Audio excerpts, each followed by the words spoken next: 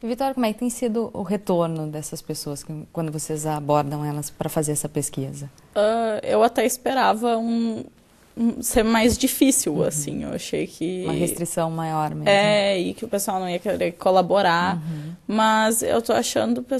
Eles estão bem abertos, assim. Uh, a gente foi até. Teve um exemplo de um menino que a gente foi fazer entrevista lá no centro. Eu falei com ele, ele disse: Não, vamos sentar ali no. Uhum nos banquinhos, fiz a entrevista, o pessoal tem.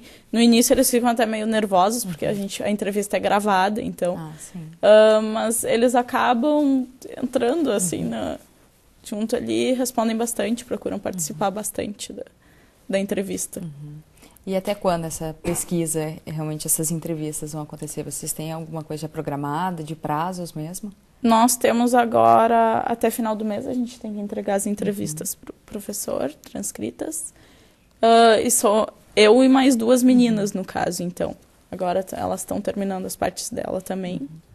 E nós temos até o final do mês para entregar as entrevistas. Uhum. E nesse momento preliminar, né, o, esse projeto que iniciou em fevereiro, então pouquíssimo tempo, mas o que, que já foi observado, assim, o que, que vocês podem apontar que de repente surpreendeu vocês até mesmo no, no resultado momentâneo, né, até agora mesmo. Preliminarmente nos dados, né, conversando com as meninas e vendo é, a dimensão de esporte, de lazer, basicamente, entre as pessoas é o futebol, né, que é uma prática mais massiva. Isso tem várias implicações. Né? A gente pode ter uma, uma, digamos assim, uma monocultura esportiva no município é ruim. O Novo Hamburgo, caracteristicamente, né, de colonização germânica, tem práticas esportivas aí, desde o bolão ah, até aí, por exemplo, passando pelo voleibol, passando pelas lutas, pelo judô, pela atividade de natação, né? Para o atletismo também sempre foi forte. Então a gente entende que uh, ainda o jovem tem pensado basicamente em atividade como futebol. Né?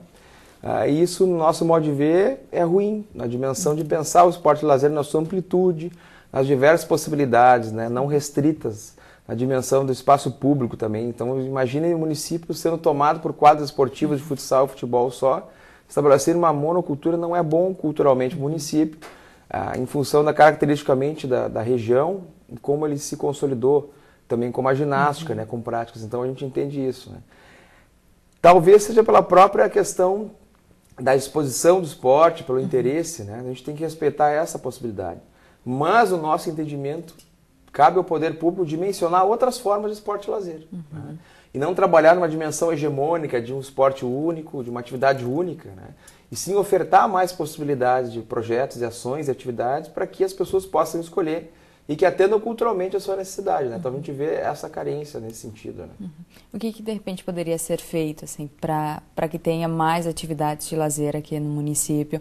Como é que vocês que estão acompanhando bem essa situação, né? Como é que vocês enxergam isso? Eu, particularmente, vendo a pesquisa e também a, a, observando e vendo os dados coletados pelo professor Framil, em relação aos espaços, a gente vê que existem espaços ah, que não são aproveitados, uhum. principalmente em bairros de periferia, que não são dimensionados e trabalhados como deveria, ou seja, a questão estrutural. E, além disso, não adianta ter o espaço se você não tem ação. Né? Uhum. Você precisa da ação, ofertar uma atividade para a população sistematizada, que tenha regularidade, né, que atenda as pessoas para que elas possam ir a esse espaço e façam as atividades. Né? Então o poder público tem que caminhar para esse sentido, né? propor ações específicas, projetos vinculados a programas para atender essa população em espaços. Né? E eu tenho pautado um pouco isso, porque eu sou atualmente presidente do, do CMD, Conselho uhum. Municipal do Desporto, né, junto à Prefeitura. Sou representante da FEVAR no CMD e esse ano me tornei presidente da gente redimensionar o espaço público. Por exemplo, o centro, a gente tem poucos espaços de lazer no centro.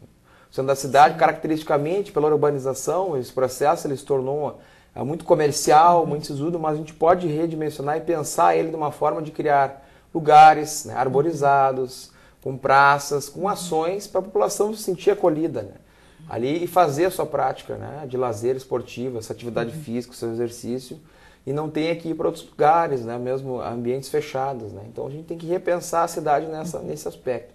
É um processo é, lento que não envolve só a dimensão do esporte, da atividade física, mas envolve pensar a cidade. Uhum. Então, como que o executivo municipal, como que as pessoas, o hamburguense, pensam a cidade, né? Como que ele planeja a cidade. Então, uma cidade não deve ser pensada somente nas cidades básicas de a infraestrutura de saneamento básico, de ruas, de iluminação pública. Tem que ser pensado também em alguns espaços. A gente tem observado, por exemplo, a criação de novos ah, ah, conglomerados de, de, prédios e casas e bairros planejados e as prefeituras têm solicitado, como a de Porto Alegre, grandes espaços de esporte e lazer, áreas verdes, praças, quadras poliesportivas dentro de ah, bairros planejados. Ou seja, pensar aquele lugar como sendo um lugar de convívio social, né? não somente um lugar de moradia, de passagem, né? de pouso, de dormir. Né? Mudar a estrutura da cidade e também a, a cultura da, da sociedade aqui de Novo Hamburgo, né? dessa questão realmente de, de querer aproveitar mais a cidade para atividades esportivas e de lazer. Né? Isso também é de alguma forma trabalhado no, na pesquisa?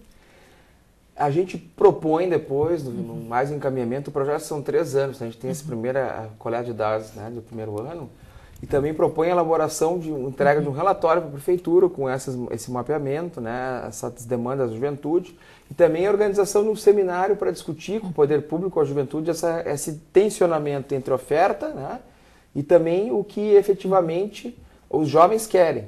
Né, ou seja, aí um, surge um produto de uma demanda social, né, que é importante, para que o, o, executivo municipal possa mover-se em direção a atender essa necessidade. Né?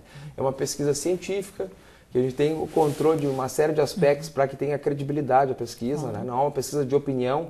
Apesar de nós irmos em espaços públicos, a gente tem todo um controle de análise de dados, rigor de coleta, uhum. né?